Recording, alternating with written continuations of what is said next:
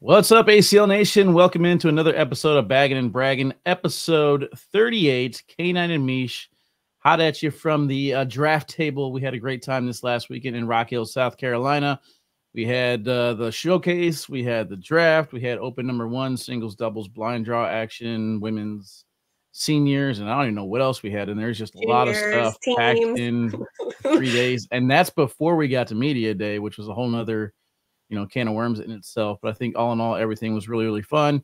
So we're going to do a little quick recap as far as the showcase goes. We're going to bring on Allison and Chase to discuss um, their stations that they had there. I believe it was play the block and airmail challenges. Myself, I had the push. Mishi had the deck around. And uh, before we get into that, though, Meesh, how you doing?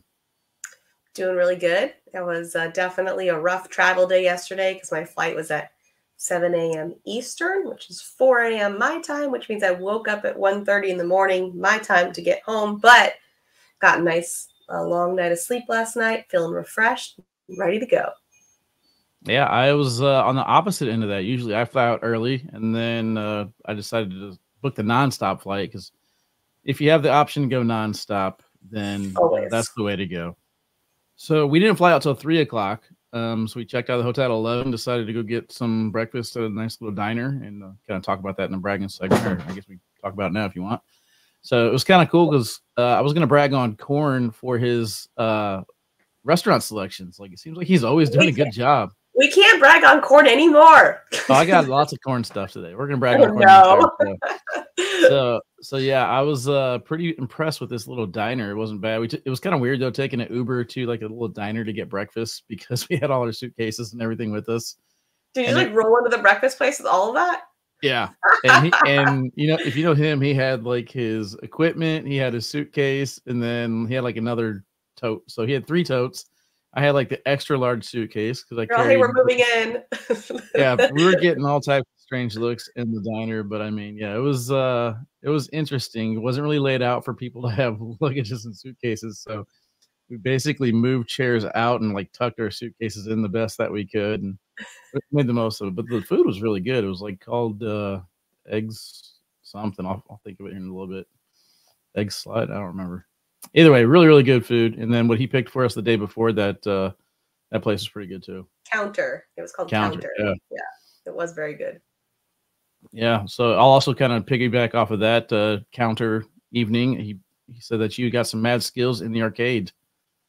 Oh, you already knew that. Yeah, well, I, I was I was letting it easy on you. Know you actually had skills. So next time we actually get to Yeah, go, no I'm gonna take way. you. You cannot tell me that you didn't try to beat me at Mortal Kombat. I just am better. And I Corey was trying to beat me at skee ball, but he couldn't. Sorry. Yeah, Sucks to skee suck. ball. You got me a skee ball too, so I guess I'll give you See. I got both of you at skee ball. Let's go. Uh, I have one sore calf because of the basketball game. I apparently only got off my tippy toes on one foot to make that shot. Uh, so I have a right sore calf muscle, and that's how pathetic I am that I got sore from playing the basketball game in an arcade. so Yeah. that's Well, where I'm at in my life. injury before that, though. You had the ankle problem or whatever. Le- my foot. It's yeah, my it's, it's my left foot that's uh still hurts. Still hurts. It's been I think what three or four weeks now. Um, so I don't know what's going on there if it's ever going to heal. So I'm definitely not bragging on my body, but I will brag on oh um the layout of the rookie showcase. We are going to talk about all the details of it, but I'm bragging on it because um, it was just really cool to get to meet all the rookies and see personalities. I was telling Corey, like, hey, we've got some like talkers. Like, I'm excited for interviews. like, we've got some personalities and some um, some fun things happening. Uh, obviously talent as well. So the rookie showcase to me was a, a game changer. I think going forward, having this and now they know what to expect. So when new rookies come in, obviously, if they know anybody, they're going to be like, hey, here's kind of what to expect and how it's going to roll. I don't think there'll be as many surprises. Like we were, we were all just trying to, you know, figure it out this this season, and I think it went really well. Um, Yeah. We finished on time. Um, I think it really highlighted what people are skilled and, and where the holes are, and it also helped us connect with these players because most of them I just didn't even know their names, let alone their faces. So being able to connect all that, uh, I thought it was just really, really cool. Yeah, I wish we could have actually had the captain as one of our guests or something like that to see if they use that data to influence mm. any of mm. their picks. You know what I mean? Because I felt like for me, I don't know, I'll brag on myself for a second, Meesh. I, I nailed the first round as far as my uh, content prediction goes. I had 14 out of 16 picks pretty much correct in the first round. I was the only one that had Frank Verona and Brady Foster going in the first round. They went there. Uh, the only two that I missed on, I believe, were Logan Hall and Pat Sim. And those two were two players that stood out for me in the showcase. So Pat Sim had a good weekend, finishing second in seniors. I think we all kind of knew him um, either from seeing him play or because he shined in Myrtle Beach last year for us. Yeah, that's where, where he became our on our radar. And then at Worlds, he basically backed it up and then qualified in the pro division. So if you didn't recognize him from those two, he definitely shined in the showcase. Had a great weekend. Ended up becoming a first round pick. The other one was Logan Hall. Logan Hall didn't come on my radar until Worlds. A lot of people were telling me to keep an eye. Hey, he's throwing the K9 unit Wizards. You know, keep an eye on Logan Hall. And uh, he had a strong showing going through the qualifier, and then backed it up again on the showcase. But yeah, I'll, I'll, go right there with you, Meesh. I think that the rookie class that's coming in is going to be a positive move in the right direction as far as personalities go. Um, one standout as far as personalities for me is Juwan Smith. I mean, yeah. kid's right. I I love his personality. They're just always laughing, and I think it's going to help you with your interviews and stuff having rookies like this. Absolutely, and uh, that's interesting about Logan Hall because we were talking about on around the ACL that Trey, Anthony, and I all did not know him prior to that. Um, so so the fact that you at least heard his name and the fact that someone like shouted him out, like, watch this guy, you're the only one out of all of us. All the rest of us were like, who's this guy? Like, where did he come from? How have we not heard of him before? Um, so, I mean, really impressive from Logan, and obviously it paid off. I don't know if Tony and, and Corey from the Cali Slingers knew him prior to the weekend or if that was just based off of his performance at the rookie showcase and his numbers being, I think it was third overall, which we'll get more into detail in just a moment. Um, but if they didn't know him, then they they really are going off of numbers, and I don't think that's a bad thing because performing in that level at the showcase was with pressure. Uh, there's a lot of pressure on that, mm-hmm. just yeah. like there would be in a game. Yeah, I think with the captains watching too, a lot of the captains showed up. Not all of them. I was kind of surprised. Like this is yeah. a valuable time to even map out rounds, you know, six through ten. Even if they're not going to be picked in the first five rounds, right. you need to fill out a full team. And this was valuable information to go there and get these sleepers. So it, it was very beneficial for those that showed up. I think it showed on the draft sheets. And uh, if we do it again next year, highly recommend the captains to show up. I was surprised about that as well. All right, we're going to take a quick break. When we come back, we're going to bring Allison on because Chase is MIA, but maybe he'll pop on. We don't know, but we'll be back after this.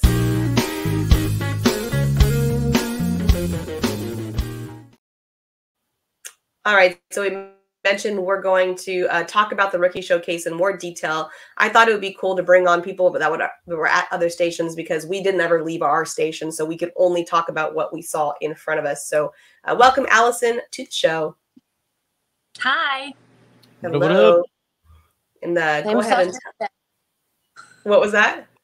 I said same stuff, different day. Yeah, right. Go ahead and tell everybody which station uh, you were on. Bernie and I were on the airmail station. Okay, and then what what did that consist of? So they had to throw eight sets of four from each side of the board, and we gave them one point. We put a bag in front of the hole so they had something to airmail over. So they got three points for going in the hole. If they put it on, we gave we gave them one point for that. Okay, so that's what you had, and then Wally, what did you have? I had the push station. Um, we we both kind of did our stations differently. So we'll kind of get into it whenever I talk about my station see if there's like a accidental advantage we gave the later groups before we gave the earlier groups. But my push station, we had a flat block in the level one position, then we turned it to a diamond block in level one, then we lowered it down the board, flat two, diamond two, flat three, diamond three. We eliminated level four because that just got to be too time consuming um, and the players had to throw from their arm over the board and their arm on the outside. So both sides, three levels. Yeah, and this is why our station went the quickest because we were deck around. So it was just throw 10 rounds. so it went fairly quickly. It would get bottlenecked up some of the other uh, stations, but we still finished on time. So, I mean, I'm happy happy with how it all went. Um, but we'll start with you, Allison. So who or who stood out to you, or what do you want to talk about in terms of what you saw over on your station? Uh, so definitely Logan Hall that you guys were just talking about. He's in my conference, and I had no idea who he was. So really? I was talking. Yeah, I was talking to Jawan, and I was like, "Hey," because I know him from our conference. Also, I was like, "Who are you playing with this year?" And he was like, "This guy right here, Logan Hall." I was like, "Oh, hey, sorry." So he would definitely stood out. Of course, Jawan, more personality than maybe anyone else in the pro division. He's always fun to talk to. Um, Faf, of course, he was great. Um, no, Pat. I don't think Pat misses airmails. Like, actually, I want to go look at the score right now because I like when he plays in tournaments. I'm like, does he ever miss one? Uh, PJ. PJ not. not PJ not. Yeah, he did really well. So Pat hit think- 70 out of 96 on the inside and 56 out of 96 on the outside. That's very interesting. That's quite a difference between inside outside. That's how many airmails they threw? 96 on each side? Yeah. Jeez. And then Brian Trader, he did really well. No, that's how many points. So remember, three points. So I, I, mean, oh, I don't okay. know what that math is. Yeah. Yeah. Mm, 12, 97 carry the something. I don't know. Don't make me do math on the fly. That's not going to fly for me. Yeah, we started our first two that we had were Braden and Ryan, and so we got going, and we finally got to eight rounds, and we were supposed to do twelve. We were like, this is going to take all day, so we cut it down to eight, and everyone else did eight throughout the day. Yeah, I mean, we're gonna have to tweak things, right? We're figuring it out. Absolutely. It was a yeah, learning process for everybody we started off with the four rounds, and I'm wondering if that maybe kind of wore down some of these lower are these scores lowered at the beginning because they were just getting exhausted. Like some of the players that came up, they were like, "Do I get a down and back?" I'm like, nah, no time for down and backs. You're just going right into it, and it really kind of sucked because like the first station is a level one push. You know, that's that's your first attempt. If I'm gonna screw up, I want to screw up on the level three first but you know right. what I mean? Because the level oh, one's oh, yeah, right like there. If you're not exact, yeah, if you're not exactly honed in, I'm wondering if that's something that we could have done to kind of help them out. But I also kind of wonder if we even should try and help them out. You know what I mean? Just put it up there. That's how it is. Everybody's got to go through the same process. So yeah. on my side, what I was doing is I had them go level one diamond with their arm over the board, level two flat diamond over the board, level three flat diamond over the board where Jake was on the other side, he was going level one inside arm, then switch over level one outside arm. Mm. So he mm. was doing level one, level one. I was going one, two, three, one, two, three. Same arm. Yeah. It's our yeah. same side. I mean, yeah. So I'm wondering if that helped or hurt some of these players by doing that. I don't know. But I do think that um, getting those extra tosses before you go back to that level one position probably helps some of my people my score because, like yeah, Frank Verona me didn't really shine but whenever we took out that round four and we took off their scores because that was a whole lot of ones. They were missing the push, they were flying off the back. And once we eliminated yeah. that round four, it was like, holy crap, Frank Ronald actually did really, really well, level one through 3 mm-hmm. Yeah, and how often are you going to try and push a level four? Well, yeah. that's that was kind of the conversation. I don't remember who said it, but they're like, "This is unrealistic. I would never go for that shot." It's like, well, that's yeah. not the point. Like, the point is do you have the skill? Not would you use it? Yeah. right? Yeah. like i think you know could you pull it out. a lot of luck no matter which way you're looking at it. If you hit it i think it's more luck than anything.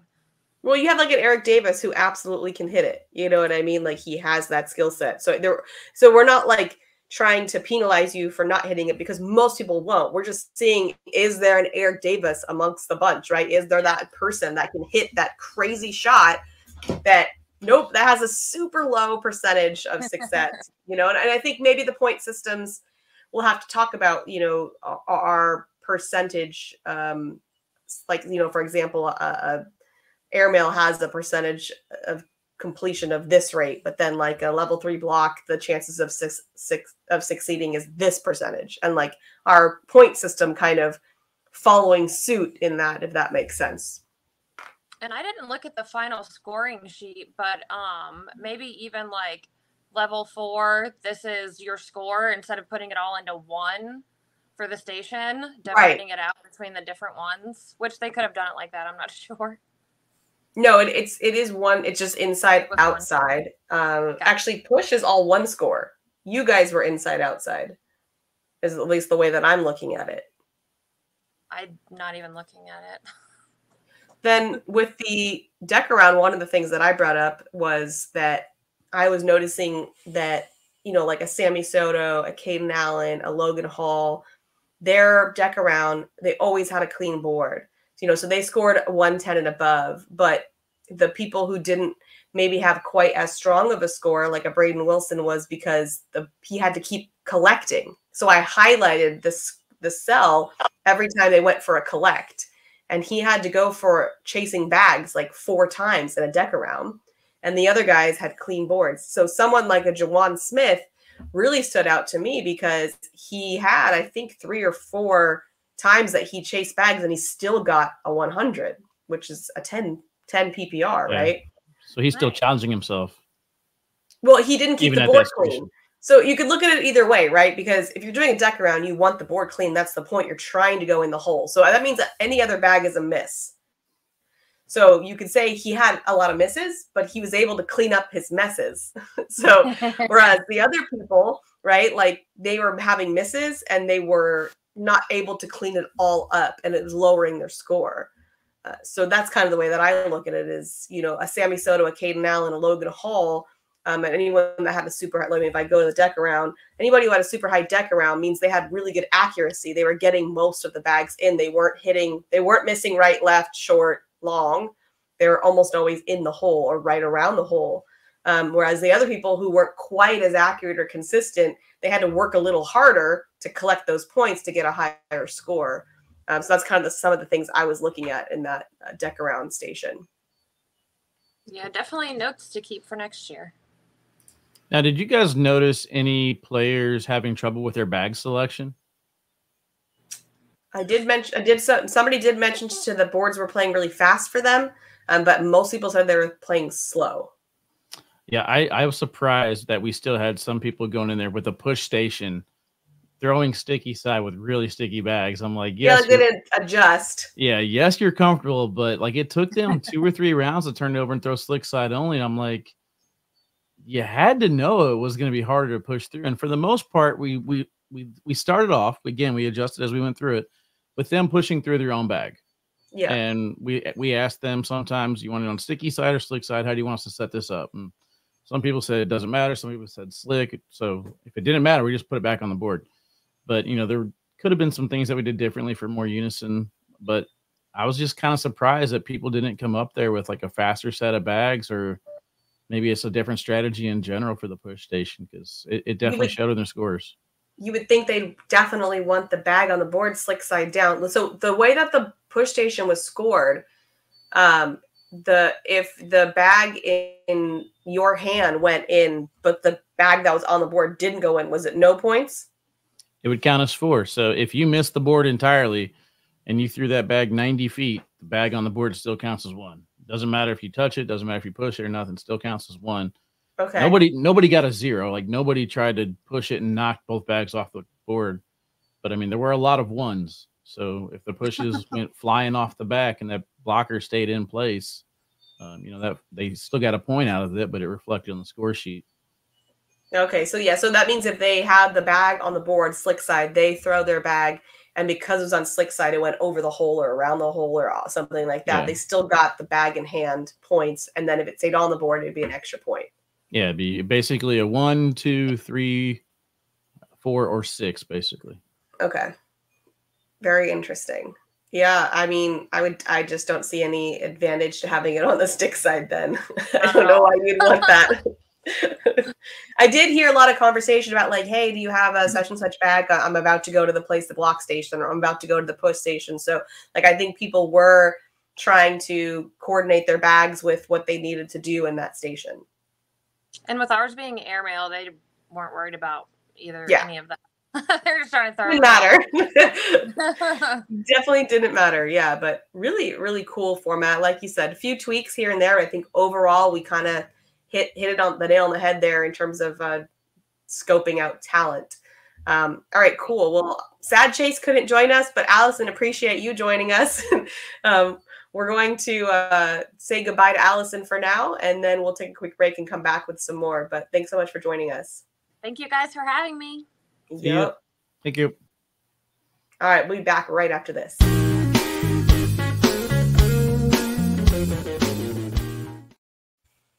So that was pretty cool. Like I said, I wish we would have had Chase. I, I like the perspective of the different stations. Like I didn't even know how you guys were scoring yours. So that was interesting yeah. to learn about.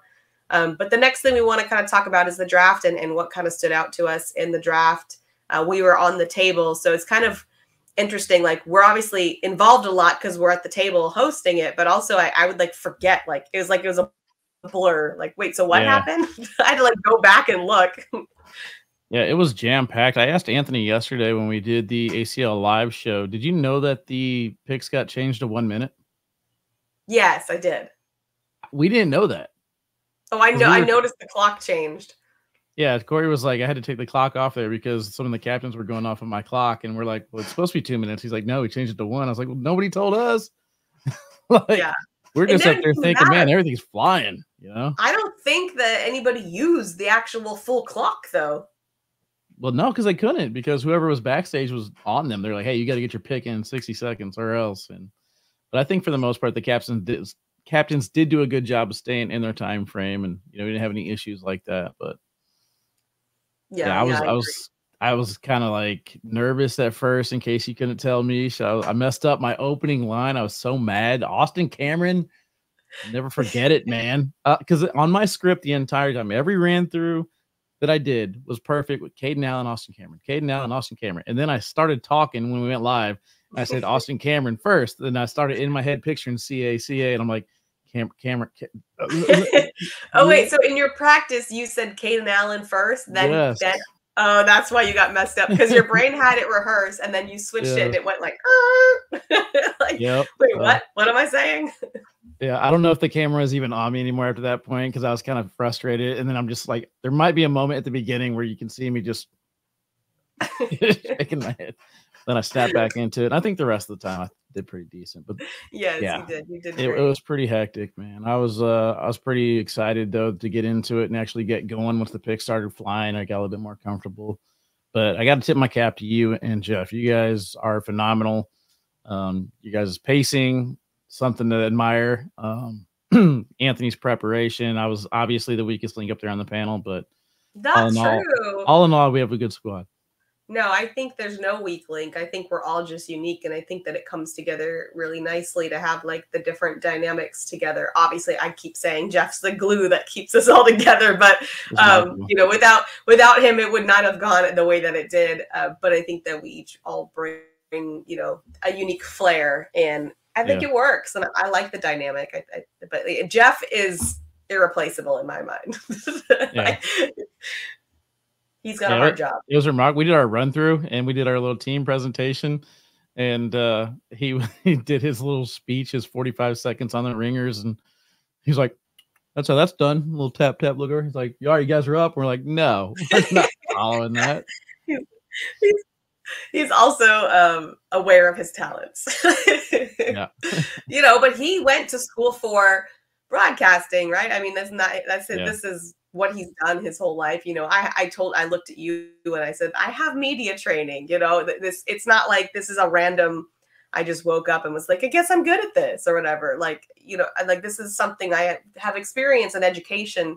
You know, I have um, actual training in public speaking, media, live TV. I mean, these are things I've cultivated over the years. Um, so, so, and then you said it, it's confidence. You know, yeah. I'm, I guess, you know, you know, Jeff's obviously confident in his skill because he's been doing it, and I have confidence in my skill because I've been doing it. This is totally new to you, and you're still killing it, right? But it's still new, so like you're not gonna have the same confidence that you would if you've been doing it for years. Yeah, I'm actually gonna watch it today. I haven't gone back and watched it yet. Um, but yeah, I definitely want to give a quick shout out to Quinn Reeves and Heather Pierce. Thank you guys for sending me the inbox message and let me know how good I did. So I, I trust you guys. Yay. Thank you very much. It was a good confidence booster. So thank you. But yeah, yeah um, so actually getting into the draft, like I said, first round kind of pretty much went exactly as expected. We did our mock draft and we had players a little bit higher on our sheet than they actually got drafted. Some of the people that stood out for me um, Ben Brown, Gabe Dolan, Mark Burgess, Maya Cup, some of those players, they went a little bit lower in the draft. Yeah. So it's kind of interesting to see what the captains were actually looking at compared to our sheet. So, and I felt like last year you guys were able to sway the captains of the tables a little bit more as far as picking players. This year, man, they weren't biting on us. They just I don't think we were on the PA system last year either, were we? No, but they all had their phones out on their table. They were listening to, you know, Yeah, that's what I yeah, I knew that I know they were, but I'm just saying like you would think it would even weigh in more because we're over the whole room like Mhm. loudspeaker with everything we're saying. Like it's you know, afterwards Corey from the Cali Slingers was just like I was like if you say Michael Nunez one more time, I swear I'm going to kill this girl because I kept saying like, you know, a really good pickup. He wasn't here at the rookie showcase, but he's a Yeah. Cali guy and he's super good. And Corey's like, shut up. Stop saying that. Someone's going to grab him before us, yeah. you know, because everybody could hear us. Yeah, there's uh But- I think a little bit more of a demand. We did it last year with the player interviews at the tables and stuff like that. So full disclosure, we had a game plan. We were going to do a lot more interviews. We actually had some graphics that we wanted to use to show how the whole team looked. I know Jeff Mhm. went through the spreadsheet and described who's on what team. Corey had some awesome graphics that we wanted to use, and within the first two picks, it got destroyed right away Graphics went down. the I mean the the amount of trades because he basically had every pick on the left hand side like on the graphic. So the, the graphics we showed yesterday on ACL Live, they have the player's name in the picture, and then there's Yep. like a place to enter new ones. Well, whenever people started getting traded, those graphics on the left hand side were gone. They were they were garbage. Couldn't use those anymore. And then who knows how many picks were over on the other side because one team had like nine picks before everybody else had their six. So yeah, so we couldn't use Like, those graphics. we needed a full-time graphic person that was just updating graphics because there's no way Corey could do that with the other things he was managing. It was impossible. Yeah, I think that's a job we could have gave Keck um because he was actually the one entering in the names, and he Yeah, actually had we all the trades should- right there. No reason to duplicate the work. Yeah. Yeah, so I think we're going forward we'll do that, and then definitely with the interview stations, we want to make sure we get more interviews next season. But I mean, all in all, I think It just didn't feel like there was went time, to be honest. nah, You know and I what think that's another thing with getting pushed back too. Yeah. Yeah. But even Yeah. in still, I just mean like within the draft, there was constantly something. There was no dead time. Like I feel like last season when we did it, like it was almost like thing. There was like these moments where it's like, I guess we'll go to Anthony and the board, or I guess we'll go try to grab an interview. Like it felt like there was more lulls where we could kind of fill in some content. But this felt like go, go, go, go, go. I don't know if it's because of like the four hosts or because I don't know why, but it just felt like there Well- was never any downtime. I think one thing is we went from two minutes to one minute, so that was huge. Yeah. That takes away half the time right there. The other Yeah. thing is we only did five rounds instead of all the rounds that we did last year. True. Yeah, oh, Okay. Yeah. That's as a big picture, it felt like we had a lot more time to do stuff like that. And we also kind of skipped picks last year. So if we came back from a commercial break, we would, okay, we're coming back. We're going to have Michelle go to this table to do this interview. And you went back there, you did your interview. And then when we came back to the desk, we did a recap of the picks that we missed. Yeah. We didn't really do that this year. We pretty much stayed right on top of it for every single pick. So, Yeah, because we knew there's only five rounds. That's a valid point. yeah. I do think that I think you mentioned it before. It'd be cool if we could, you know, record or, or, have this, the rookie showcase stream so people could watch it. Um, I don't know how to make that entertaining. Like, there, I guess it'd almost have to be like a host. That's I don't Well, really know. Like, I was You know, kind of 'cause thinking Jeff was this. available. We had, yeah, we had um a talk at the bar last, like after the draft, and we all finally kind of took a second to breathe, and we're like, okay, if we do this multiple camera setup, you know how we do nationals, and you got four different courts you could select. We could have each different station selected up there, give like a printout schedule of who's going where at what time, and then let people just choose what they want to watch or not watch, stuff like that. Um, but yeah, I think definitely some type of but, host. but, if, but if it was silent, that would be so awkward. Like, you almost need someone that's like talking to you. Yeah, but at the same time, the captains who didn't show up, they could have watched it from home if they had a certain player they were interested in, want to do some research on. They could have True. gone back and they could have gone back and watched it after it was over. And Yeah. then, you know, let's say that so and so's hubby was playing, she could have went in there and watched him play Yeah. and focus on that. They don't they don't need us talking over it. Like what are we gonna what are we gonna say anyway? That was a good airmail that went in. well, he missed that airmail. Know, uh, that airmail went in. Like, Yeah, no, really I not too much to talk I- about. agree. I just feel like when you put out like content, if it's just like I know sometimes uh, with the live streaming courts, like for example, if you have to walk away for a second and the game's just going, it's like if you're at home watching it, like you're, Yeah. it's just quiet. I don't know how long you're gonna stick around, even if it's entertaining. It's entertaining watching good games, but when it's just quiet, it's like this awkward thing. Yeah, Yeah, it would, probably have to be Corey because Corey is the type of person that can multitask, update a spreadsheet, get us a graphic that looks really cool of like a leaderboard, and then kind of inform people that way. So I mean, Yeah, and, Someone and Jeff, Jeff too. wasn't Jeff wasn't on a Yeah. station. He was just there, right? Like Jeff could easily be kind of like hosting in a way, and then you could put Corey on production and put someone else at the deck around table. Like I think we could have, you know, definitely done something cohesive like this for next, like maybe next year, because I think that'd be cool.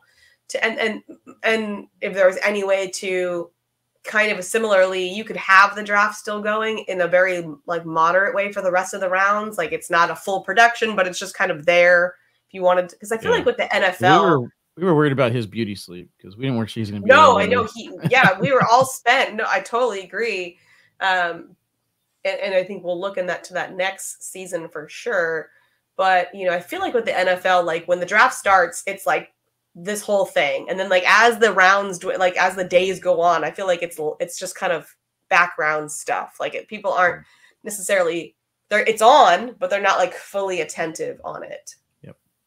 so i think it could work similarly and by the way it doesn't have to all be in one day. No, yeah, I think uh I think combining it on a day that we did a tournament was rough. I'll talk about that a little bit later. Um, yes You know, Agreed. Spoil nothing, but yeah, it it was definitely rough for me. I think Friday ended up being a 17 hour day for me. so long Saturday was a 14 hour day. And then there was no stream on Sunday. We weren't scheduled to do a stream. We were doing inventory, and that drug out longer than we thought. Yeah. That ended up turning into like another 12 hour day. So it was a very long weekend. For sure. Yeah, I totally agree. And, and like on media day, I did the morning block of interviews and I was thinking, and I went back to the hotel room and I had every intention to go back. And I was so spent that I was like, I'm technically not on the calendar. Like I got, I, I'm done. I'm done. I've got to tap out. Yeah. All right, let's take a quick break and watch highlights uh, right after this.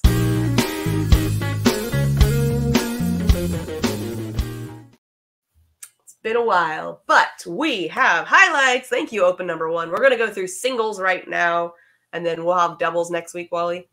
Yeah, we should have doubles next week. It's on the uh, TriCaster, which is back at HQ. I appreciate Jake Brandon filling in and giving you guys some great commentary um, for the doubles action while we were all getting ready for the draft. So shout out to Jake. Hey, Jake. Um, I did forget to train him though on how to record the replays at the end of the video, so that way I can go back in and find them easily. Um, and then I went in and recorded them to the hard drive, so I would have it. Um, but then the file became corrupt, so oh, of course. couldn't couldn't get it. Um, but yeah, I Right. have no idea what we have on these highlights. We're just going to kind of watch them on the fly because, as I mentioned, I have a late I had a late flight. So flying out at three o'clock as opposed to flying out at eight o'clock, you don't realize how valuable your hours are until you don't have them. Until they're gone. And uh, we'll either throw we'll either show doubles next week, the week after. I'll be in Cabo next week, so I won't be around. Um, so we're figuring that out, but we'll get doubles to you next. But all right, let's get them up there, Wally. Alrighty, um, Let's let's, see it. go ahead and I think we started with women's. Um, so close. Oh, that's painful. Poor Sam. Yeah, so Just I think we're starting off the same way that we did last time. Sam and Cheyenne, two strong Yeah. women contenders right off the bat. Um, Shocking. yeah, so basically, juniors, women's, and seniors kind of went by the script, right? These ladies put on an airmail show. That was only two, I believe. At that time, they hit five in a row. As you can see, Cheyenne was not afraid to throw her airmail. I talked to Jeremy Frazier about uh, how they played doubles. I believe they made it to the finals in their bracket, and he said Cheyenne is just ridiculous with her airmail right now. So I wonder if that's something we're Yeah. gonna see. Um, I'm pretty sure there's some awkward knuckles if it's Damon Dennis. There, yep, there it is. I had no idea that that was happening. Yeah. yeah. So, uh, again, Pat Sim, not afraid to throw the airmails. Damon Dennis right there with him. Um, but yeah, good, good showing for the basically expected people to win. Jacob Gore took down the juniors division. Cheyenne took down women's, and Damon Dennis took down seniors. Yeah, no shocking things there. Well, actually, no shock except for I guess Alan Rawls, which we shouldn't say is shocking It's a weird conundrum. I don't know how to explain it. Okay, good. I did get all these Tony Smith rolls because these were ridiculous. He was basically coin slotting 2.0, 3.0 again. Um, I do want to give a shout out to Philip Lopez Jr. throwing the Titan bags. He looked like he was locked in with those things. So Yeah. I'm looking forward to seeing a strong version of Philip. Look at that one. God, Jesus, Nothing Tony. there. he He's does crazy. Like And what? he's collecting and he's collecting at the same time. This is mind blowing. Yep. Got my guy out here, Rye Guy, Ryan Trader, rocking the K9 jersey, throwing very, very well. Really well. Ended up taking down a bracket. Um, lost. Very unfortunate. I mean, how close can you get? I know. Taking down a bracket, lost to Ryan Wiedenfeld. So proud of those two guys. But I'm excited, Cool. Meesh, man. The season has started, and pretty much everything I was looking forward to watching happened. Yeah, no, it's it's strong. Five bags in one shot there from Gavin. They're they're the pros are putting on a show. Yeah, and I was going back through, you know how I usually go through and I watch all the matchups and then I put down who's playing against who, and then on the ACL Digital Network, I title it with or in the description with those players. Right. There's some awkward knuckles for us again before the match starts. Um, but yeah, so I was basically going through it and I was like, man, I want to watch this match. Man, I want to watch this match. I want to watch this one. there There's were too so many many- good ones. yeah, there were so many good ones in the losers bracket. I believe at one point on our live feed, we showed Caleb Batson taking on Mark Richards in the losers bracket, and we're like, you know, there's just so much this season. Just I want to say, like three years ago, we had 256 pros. I'd probably say 180 of them deserve to be pro. You know what I mean? Like some of them Yeah, yeah. either qualified via points or some other conference standings or stuff like that. It was kind of given. Aiden, phenomenal weekend for Aiden. Also, by the way. Aiden did phenomenal. Yeah, he, he he's a standout for sure. yeah, big was it big perm or little perm? What they call him? I don't know which perm, but it's a perm. Yeah, I mean, I don't think he has a perm actually, but that's the name on his shirt. yeah, Pretty sure it's his natural hair, but Yeah. uh, who knows? Yeah. Hunter Thorns, Aaron Mills were on point. RIP to his ankle though. Not sure if you saw that. I did. What's that's Yeah. crazy. Who's got, got what is he gonna play on crutches? cornhole. Yeah, that or the scooter. That's gonna be interesting. Yeah, but um yeah, I think it's going to be pretty exciting. So right now I think out of the 250 pros that we have, I would probably say 225 of them deserve to be there. So the talent level has increased significantly. Oh yeah, for sure.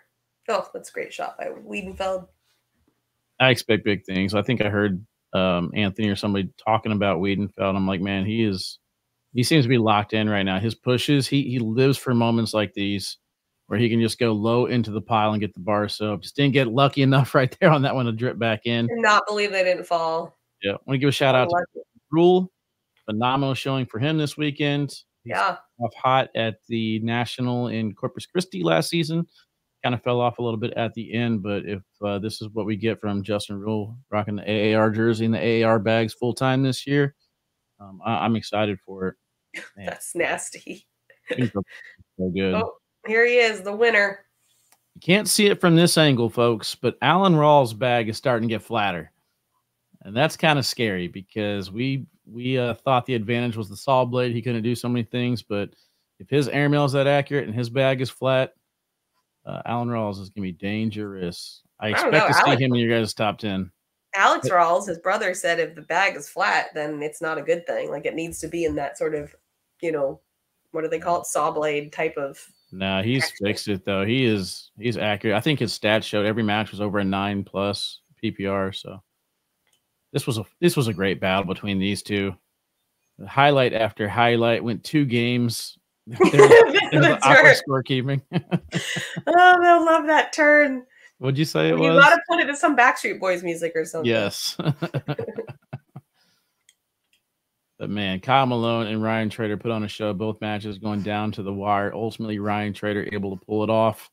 This was a nice little sequence here. These are three replays back to back to back where airmail collects are just easy for these two. And there's not even that much hole there. No. And then Ryan goes short to collect this one, able to get all of it to go, plus four. Nicely done. These kids, I'm telling you. Oh, beautiful oh, bar, bar soap. soap. So many bar soaps. Bar soaps like the new, I don't know, roll. Push? It's, a new, it's a new roll, I guess. Yeah, it's I don't really way too often. They're just hitting it like with an accuracy that the accuracy of it is so good. That's the word I couldn't think of earlier when I was trying to come up with the different percentages. So like, what is this word I can't think of? Accuracy.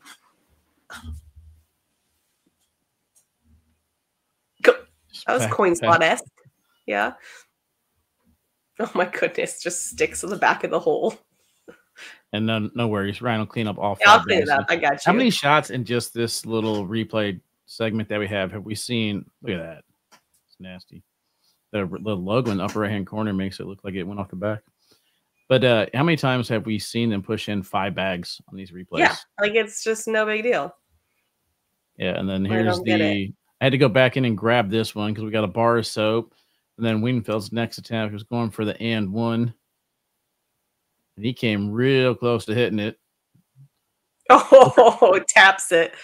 So I was like, oh man, he almost got that and one. And then the very next round. Dude, I'll get this one. No worries. That's amazing. Oh, good stuff there, everybody. All right, one more break. We'll come back with our game right after this.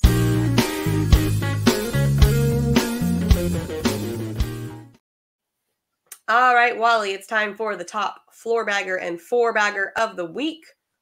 What you got for your four bagger? Uh, top four bagger. I think I'm probably gonna steal yours. We didn't uh, get together and figure out who's got this, but my top four bagger is amazing job by everybody on the draft. Oh um, yeah. Did you go a different direction? Oh yeah, I went different direction. All right, cool. Then we're not we're not uh, piggybacking, but yeah, shout out to Corey, Chase, Jeff, Anthony, Meesh. You guys all killed it. Everything was amazing. Um, I think that the segments that we had just were home runs. I think uh, the graphics and transitions and everything went really, really cool. It was a good experience for me to get some TV time, and I think everyone behind the scenes, um, even to Stephanie for the I can never say is it charcuterie board. Charcuterie. Right? Charcuterie board. That was amazing. All the players loved that, and I think it's just overall good setup. And the crowd. Thank you very much for the crowd for showing up. Otherwise, it'd been kind of lame showing up and staying too. Yep. Yep. Like you guys are awesome. Um, my four bagger was the Virginia Cutters getting the first two picks and grabbing Jake Gore and Sammy Soto. That's a pretty good one-two punch right there. I think that that is a great way to set up your team for success. So I really like them getting those first two picks to get a better chance of uh of competing this season. Well, see, I like the All two right. picks. I think those are two of the strongest people they could have gotten. I'm just wondering if they could have gotten more of a return on their investment by trading away both the first and the second pick to getting more of a full squad. You know what I mean? If they could have filled out like like the Las Vegas High Rollers, they traded away their early picks and they filled out an entire roster. I'm wondering what the Cutters could have done yeah. with the first and second. But overall, yes, great picks. So the floor bagger, what you got? Floor bagger for me was the schedule. It's too much. uh, we're gonna have to eliminate blind draw, like cut the blind draw out, move singles back to Sunday, um, do the showcase and the draft at the same time.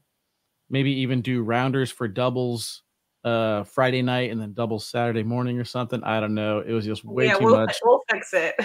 yeah, sure. I didn't have time to set up the pipe and drape. And then whenever I asked for help, the people I asked, they said, Yeah, we'll be there. They forgot. And then the next time it became in my memory or my forefront of my mind is whenever you're like, how come there's no pipe and drape? It looks terrible. This is garbage. or whatever. Sore spot. All right. My floor bagger was sleeping on the ladies in the draft. I mean, there is there's really good, strong, competitive women, and they go really late in the draft, and I don't understand. To me, it doesn't make any sense. Um, they they should be they should be a hotter commodity. Um, but yeah, happened last season too. So it's always going to happen. I think one main reason that it does happen is whenever you look at partners and you're trying to get like pro partners lined up with each other, the ladies pretty much stick with the ladies. So if you don't have one, it's hard for you to get another one. Now there's a lot more mixing of co-ed teams um, this season, so hopefully that does change going forward. But I can definitely understand where it's kind of a question mark. Obviously, whenever the ladies are playing, um, it's a Friday early. Most of these other captains and players and stuff like that aren't here yet at that point. So, I mean, I can definitely understand how they get overlooked, but yes, we definitely need to stop sleeping on them. But I mean, like, if you look at their stats, like, there's so many that throw over a 10. So it's like, what are we doing? Yeah. Anyways, all right, send it or board it. All right, so this might not go with the spirit of send it or board it, but um, it is Uh, you know how I roll with this, Meesh. This is the hardest one for me. um, but I want to know if you're going to send it or board it for each of the seasons because for me, I love the fall. I hate anytime the weather changes, though. My allergies go crazy. I'm sending it for the fall, boarding it for the winter, boarding it for the spring, sending it for the summer. Sending it for the fall, sending it for the winter, sending it for spring, boarding it for summer. Get out of here, summer. I want nothing to do with you. Yeah, you can tell which uh, region of the country we're in based off of those selections. um, okay, send it or board it. If you notice something that you don't like, Wally, like maybe a rule break, do you post it on on Addicted to Cornhole and complain? Send it or board it. Is that how you deal with it? Um, if you get paid for post reactions, I guess you send it because I mean, the, the Jackson Gore handled it very well. If this is the one you're talking about, so yes, uh, to give people an idea, stepping over the line. That's one thing I was going to ask Allison is if you notice the violations happening during the showcase. I was keeping a close eye on it. One person in particular was Ryan Trader. Last year, stepped over the line pretty much every single time. This year, making a conscious effort to keep one foot down. That being said, there's going to be plenty of moments where it happens and it doesn't affect the game at all. So whenever Jackson Gore did it, stepping over the line didn't affect the game at all. That's the picture that gets posted on Facebook. You're not doing it to draw attention to the rule, and the way you worded the questions kind of douche s. So yes, I'm boarding it. This particular post. okay, would you rather? All right, would you rather? Okay, so since there has been some conspiracy in posts about some players not giving it their all on teams and stuff like that, mm. I would go ahead and ask you what you would prefer as far as format goes. So, would you rather play a round limited format with a team environment, or would you just rather stick only to uh, 21 and done and just not play teams, period? No, I think it's, I think the, the more dynamics and differences and things, the more you grow and, and have fun. It's different strategies. It's uh, it's different dynamics. I think it's all good. I think change is good. I welcome it. Yeah, I'm the same. I like to take it. I like to play them all. I want to I want to have some fun and experience yeah. different things. Totally. Uh, my would you rather? Would you rather get the first two picks in the draft or have a top 30 player from last season? Hmm. Uh, there, I'm going for the two for one. So if you're only giving me one top 30 from last season, I mean, because in this particular situation, they got a top, was it five or top 10, whatever Jake Gore was? Yeah, but so, but wasn't that how the trade went? Didn't they trade their that pick for? So you, so sorry, let me word it differently. You already have a pick, so you're just trading a pick for a top 30 player. Like, not yeah. you're not trading two for one. You already had one. Yeah, I mean, I would probably so you're getting a so you could either choose from getting a second first round pick or a top 30 player from last season. That's what I'm trying to say. Yeah, I'd probably go ahead and keep the top 30 based on how the team was laid out because was it five rounds at 16? That's 80 players already gone. So your your first pick has got to be better than the top 80, which obviously it was with these particular situations, but um doesn't always work out that way. I would rather have the talent from last year that I saw how they get to execute. Yeah, that's fair. All right, that's it. We got through it. So uh, we appreciate you guys joining us. Uh, we're still figuring out next week, but we'll keep you posted and uh, we'll talk to you as soon as we can. Thanks, guys.